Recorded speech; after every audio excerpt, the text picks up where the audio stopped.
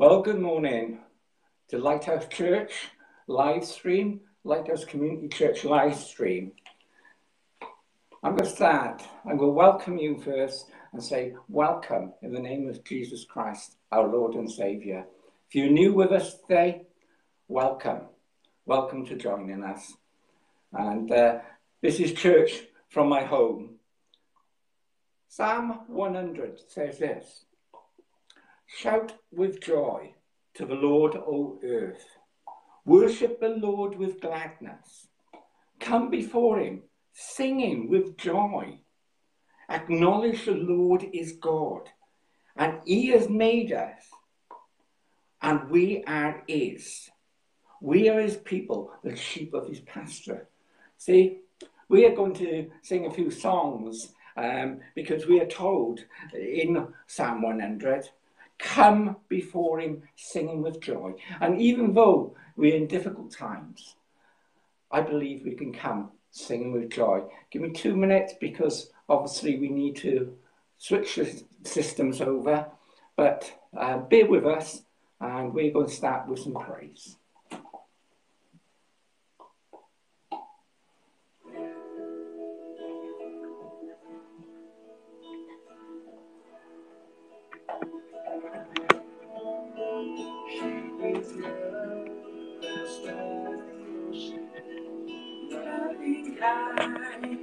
The flood when the prince of our ransom shed for us his precious blood.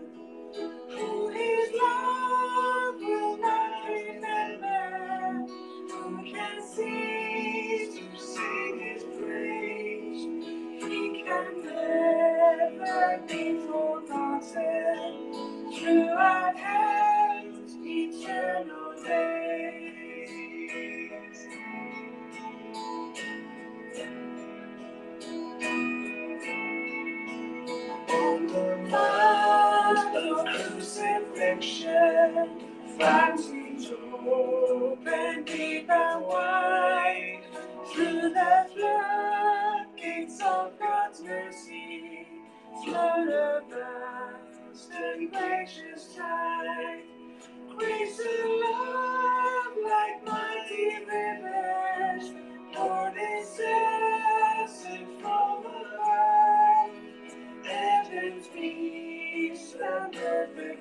justice keeps the guilty in love.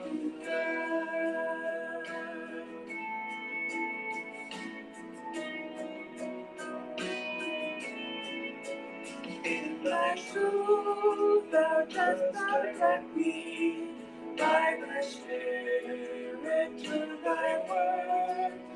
And thy grace my need is meeting as I trust in thee, my Lord. Of thy fullness thou art drunk with love and power me, without measure, full and boundless, drawing out my heart to thee.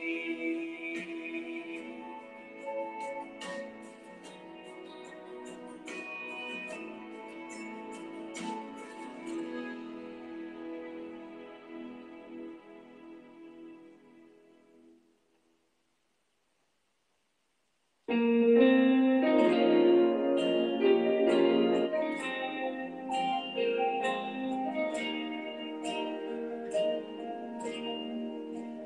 Christ alone, my hope is found. He is my light, my strength, my song. This cornerstone, this solid ground, firm through the fiercest drought and. What heights of love, what depths of peace, when fears are still, when striving cease, my comforter, my in all. Here in the love of Christ I stand. In Christ alone, on flesh, fullness in helpless babe. This gift of love and righteousness, scorned by the ones he came to save, till on the cross, as Jesus died,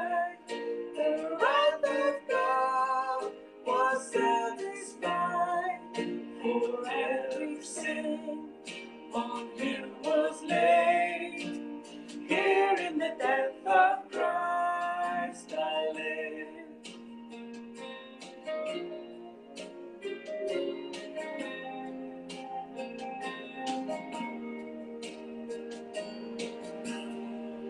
There in the ground his body lay, light of the world by darkness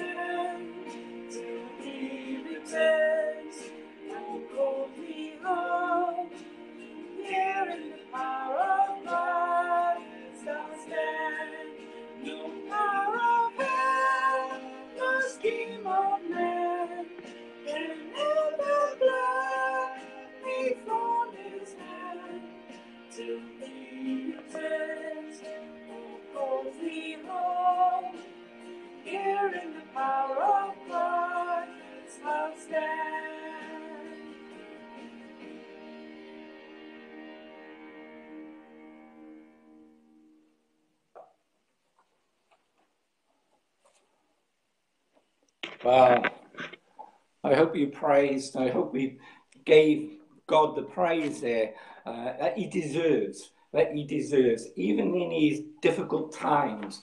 Well, um, can I just apologise for last week? Apparently, I was moving around a bit too quick. Uh, it made people have motion sickness. So I'm going to try today. I'm going to try today to keep to keep uh, um, still or uh, as anybody knows me as a pastor, I like to express. I like to express my passion, my passion for Jesus, my passion for Jesus. But before we go into the word, I I just like to pray. We've got some prayer requests for some people, and um, we're going to pray. Kathy's going to lead us in prayer. Um, she doesn't want to come on, but she's going to lead us in prayer. So um, I'm not a ventriloquist, whatever. Um, but can you lead us in prayer, Kathy? Amen. Oh, Father God, we do thank you that we can come before you, Lord. That, Lord, you know the cries of our heart, Lord Jesus. And, Lord, we bring before you all those who are in need of a healing touch this morning, Lord. Lord, you know the one on my heart, Lord Jesus. I pray, Father God, that anxiety would be gone in the name of Jesus. Yes. That, Lord, you would that you know that you would restore the heartbeat, Lord, to Yes. and to normal beats, Father God. Yes, Lord, it can be so frightening, Lord, when your heart is racing. and You Mm. have no control. But Father God, we pray for healing for this lady in the mighty name of Jesus. Amen. We say, Lord, have your way, Lord Indeed. Jesus. Bring healing and restore her. Mm. And Father God, I also pray as well, Lord, for a lady that's going into hospital, Lord, to have a baby. Yes, Oh, Father do. God, I pray, Lord, against all this anxiety and this fear, the unknown, Lord Jesus, because it isn't a, a- um, because it isn't as it was before, Lord Jesus, that you know that we because staff have to take um, extra precautions, Father God, and it can Mm. cause fear and and anxious thoughts, Father Yeah, God. So Lord, we away, pray, Lord. Lord, that this lady would be calm in this situation, Lord. We pray, Lord, for a safe a safe um a, a safe delivery of the baby, Father God. We do we thank you for the children, Lord. They you, are Lord. a gift from you, Father Yes, God. And we thank you and praise you. And Lord, we also continue to pray, Lord, for your world, Lord, for this Yes, pandemic indeed. that is sweeping the nation, Father God.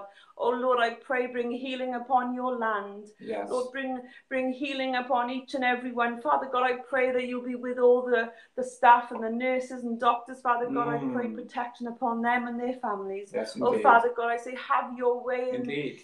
Have in this way. situation, Lord. Father God. We bring it before you now, Lord, and we thank, Thank you you, that we can just praise you and bless you, Lord We Jesus, do. that we can receive healing from you, Lord. Yes. That Father God, we can cry out to you, Lord, because we know that all your promises are yes and amen. And Lord, we give you the glory this morning for all that you're doing, Lord, and all that you've Mm. done. But for Lord, all- all that you're going to do now, Father God. And as we come to hear your word this morning, I pray, Lord, that you would still our hearts and our minds, that we would be open to receive all that you want us to receive in your name, Jesus. We thank you and bless you. Amen. Amen indeed. Amen indeed. Well, um, what a week we've had again. Um, a week we are further in lockdown, but um, I just want to just silence that TV behind me because it's showing. Uh, Kathy, can you do that for me? Thank you. There you go. There's tough times, isn't it? You know, we're in tough times.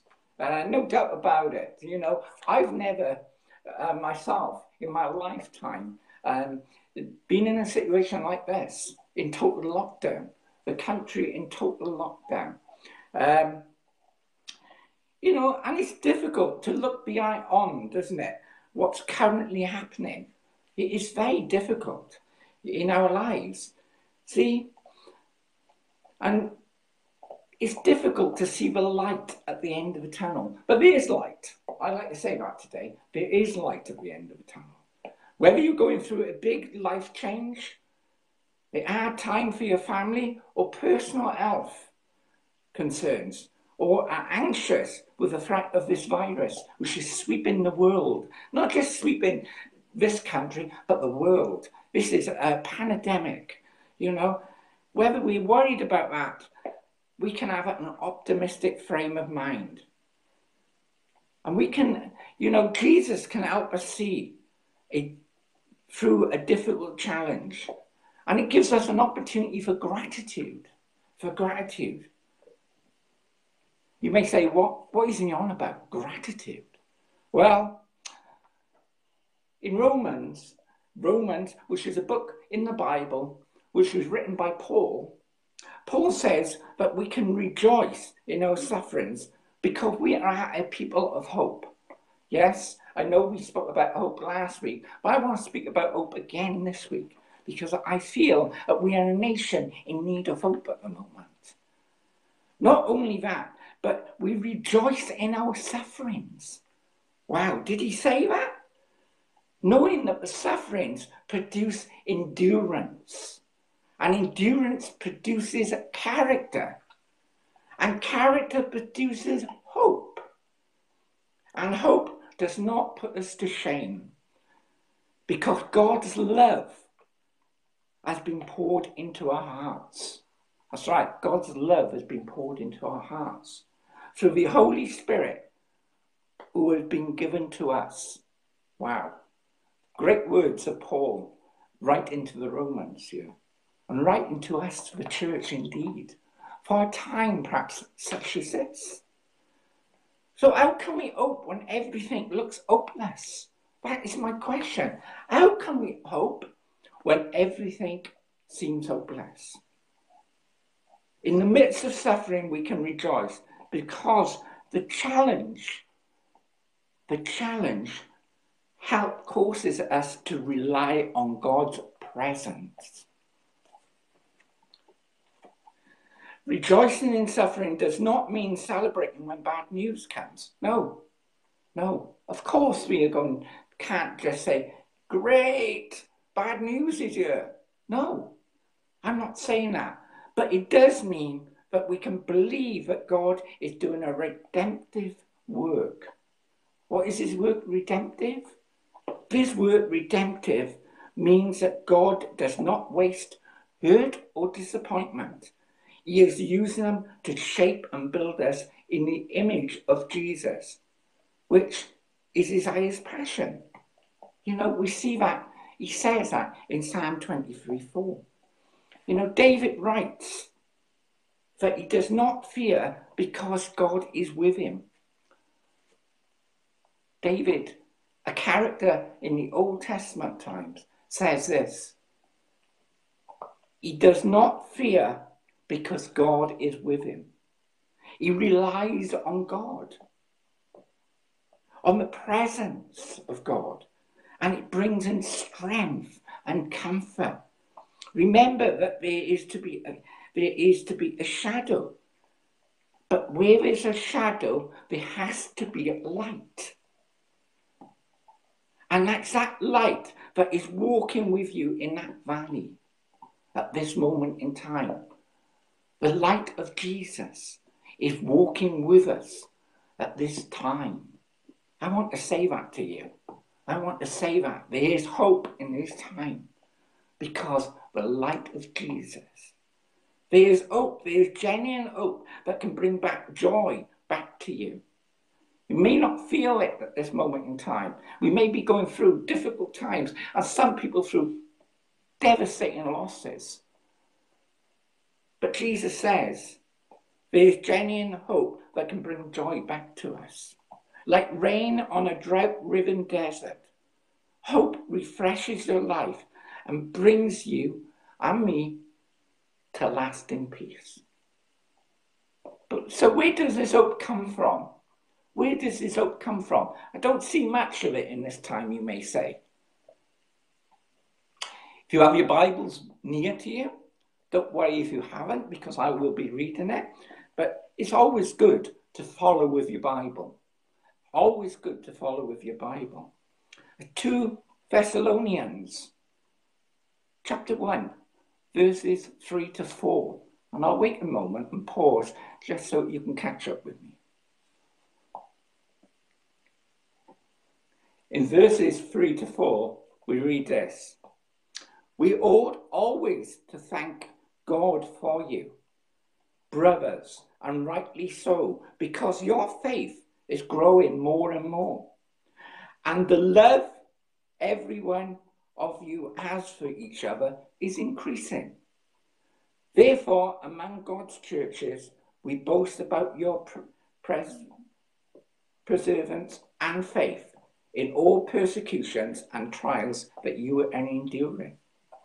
And we are enduring trials at this moment.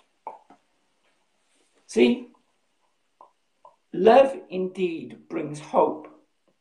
Last week we looked at the Easter story and the resurrection, which brings hope. Of course it does. It's a form of love. The resurrection was from the love of Jesus dying on the cross. He died, he was out of a love for us. And he rose again, which shows there is hope.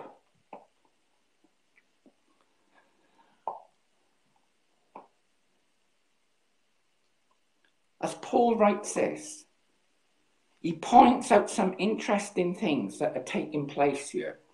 He reminds them that the faith is growing, the Thessalonians, that is. Their love is increasing. They are standing tough. And they are facing it together.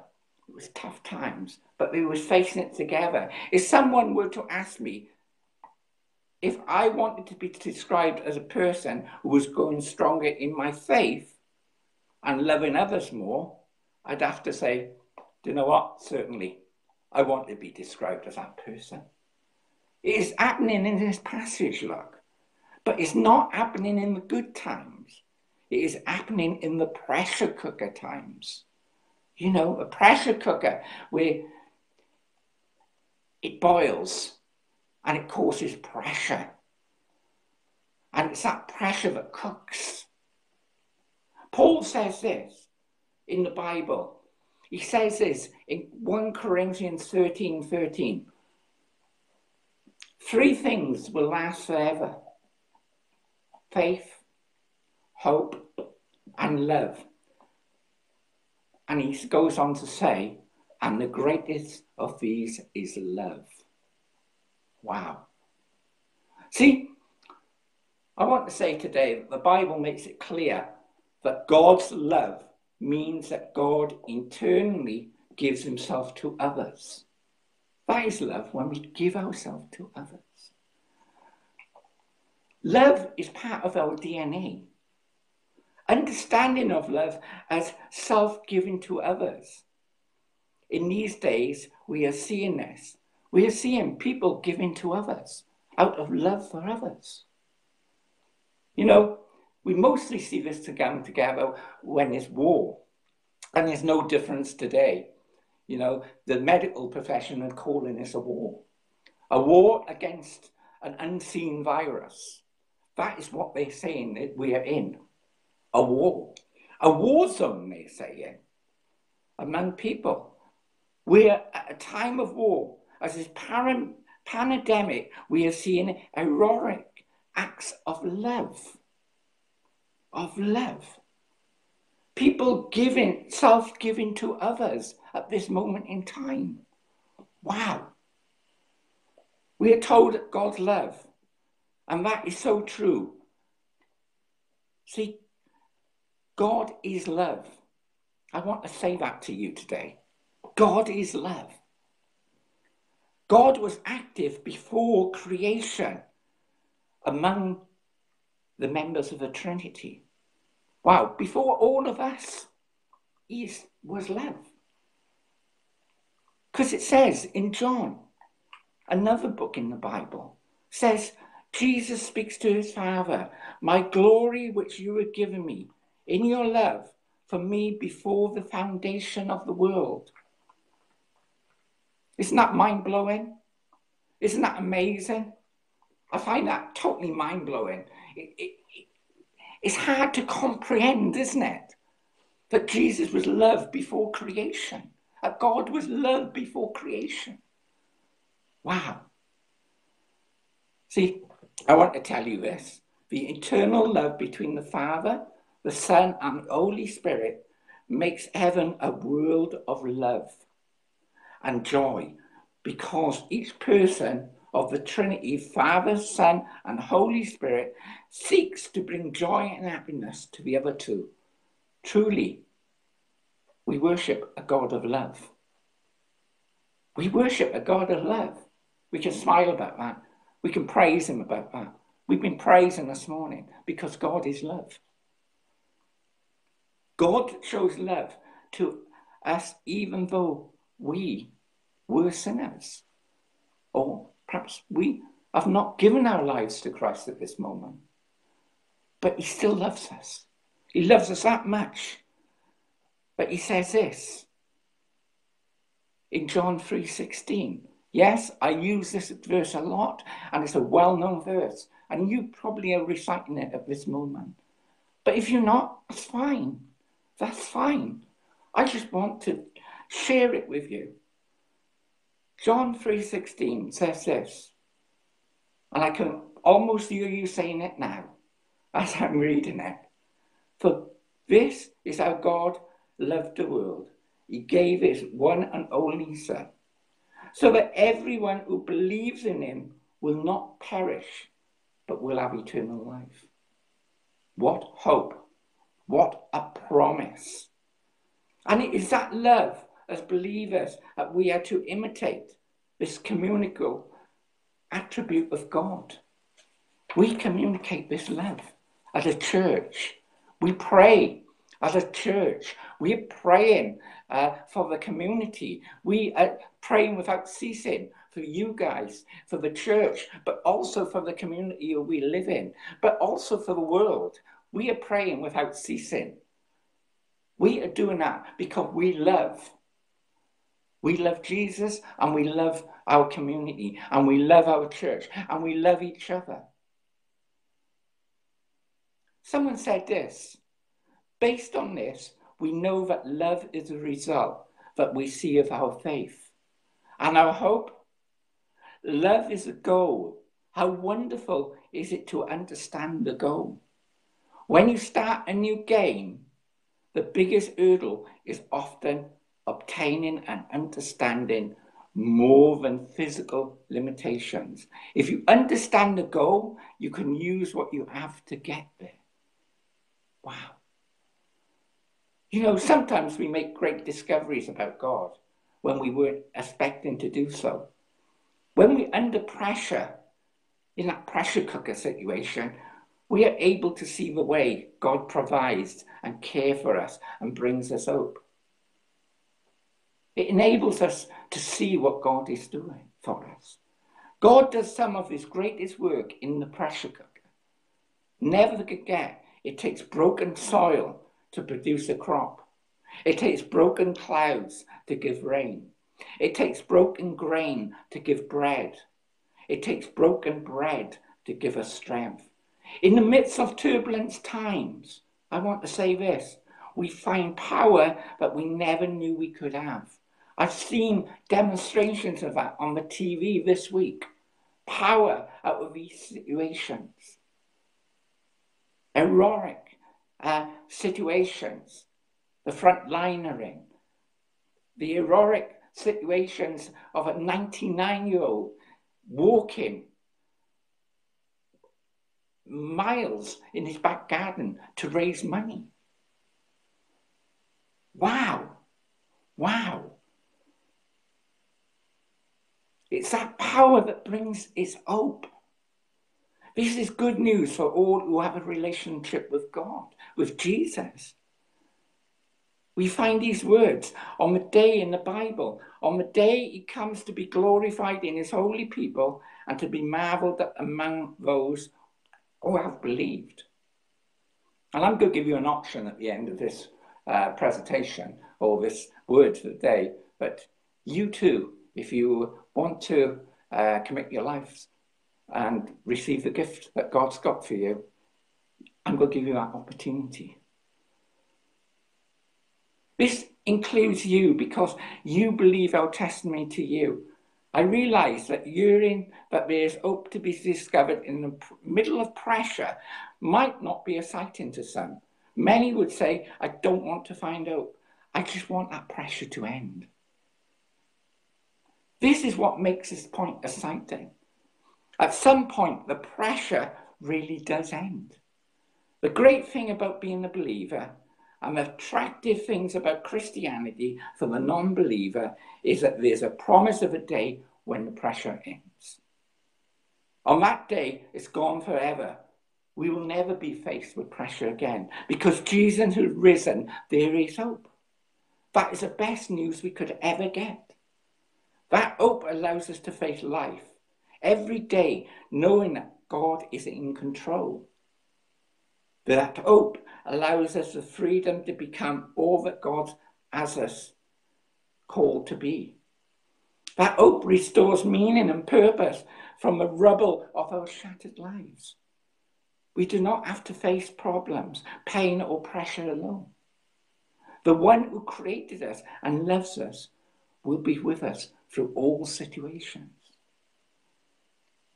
Often in our lives, we find ourselves in situations where we do not know what to do. I don't have all the answers. The circumstance of life are swirled out of control and the pressure is overwhelming.